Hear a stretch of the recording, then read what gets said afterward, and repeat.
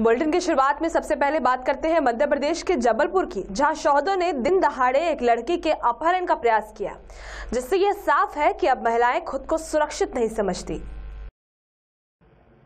मध्य प्रदेश के मुखिया शिवराज भले ही महिला सुरक्षा की बात करते रहे, पर हकीकत तो ये है कि प्रदेश महिला संबंधी अपराधों के लिए नंबर वन बनता जा रहा है, जहाँ महिलाएँ खुद को सुरक्षित नहीं समझती। ऐसा ही एक मामला जबलपुर में देखने को मिला है, जहाँ शौदों ने दिन दहाड़े एक लड़की का अपहरण का प्रयास किया।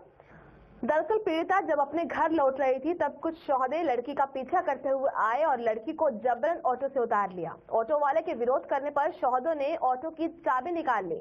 इस दौरान लड़की ने कई बार पुलिस सहायता केंद्र पर कॉल किया लेकिन घंटों चले तमाशे के बाद भी पुलिस नहीं आई। घटना की सूचना पर पहुँचे पीड़िता के पिता के साथ भी शौदों ने जमकर मारपीट की और धमकी देते हुए भाग निकले।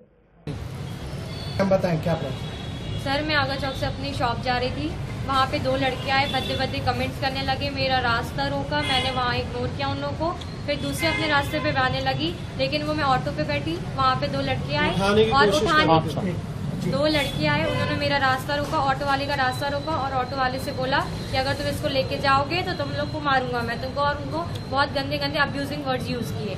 वहाँ से फिर मैं दूसरे ऑटो से हर रात में गई वहाँ पे उन लोगों ने उसको बोला कि अगर आप इसको लेके जाओगे वहाँ पे भी उन लोगों ने गाड़ी रोका और उन लोगों के साथ बदतमीजी की कि आप गाड़ी उन्होंने गाड़ी रोकी और चाबी निकाली और उसको गाली आली देने लगे अगर तू लेके गया इसको उतार, वरना मैं किसी को जाने नहीं दूँगा, मारूँगा।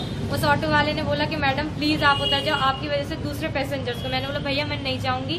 तो भी उसकी रिक्वेस्ट बोली कि, नहीं मैडम प्लीज़ आप उतर जाइए। तो भी मैं वहाँ पे गई तो भी वो लड़के आगे पीछे घूमते रहे, भद्दे भद्दे कमेंट्स किए। मुझे कुछ नहीं समझ में हंड्रेड नंबर कितनी बार डायल किया रिसीव नहीं हुआ। फिर मुझे अपने पापा को बुलाना पड़ा। मेरे पापा ने उसका हाथ पकड़ा। पहले उसने बदतमीजी की। फिर मेरे पापा ने हाथ पकड़ा तो मेरे पापा को हाथ उठाया। उनके हाथ पे चोट आई है नाक पे चोट आई है और यहाँ तक की जान से मारने की धमकी भी कौन दी लोग है हैं ये लोग सॉरी सर मुझे ये नहीं पता वो लोग कौन है कहाँ के हैं मैं नहीं जानती क्या आपका अपहरण वगैरह करने की कोशिश की लोगों ने? हो सकता था वो अपहरण भी कर सकते। जब आप लड़की को बीच रोड पे रोक रहे हो तो क्या भरोसा आप तो अपहरण भी कर लेते मेरा। जानकारी आपने थाने में दी क्या क्या क्या व्यवस्था की ये बताया थाने में आप पूरी रिपोर्ट मतलब आप लाडगंज थाने में जो मामला आ, आया है उसके संबंध में थाना प्रभारी द्वारा उसमें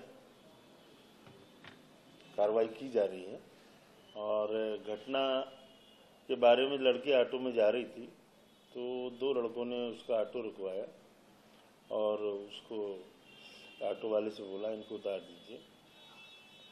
फिर उसने अपने पापा को फ़ोन लगाया पापा वहाँ पर आए उसके। और इन लोगों के बीच में किसी विषय को लेकर जुआ जट की मारपीट हुई।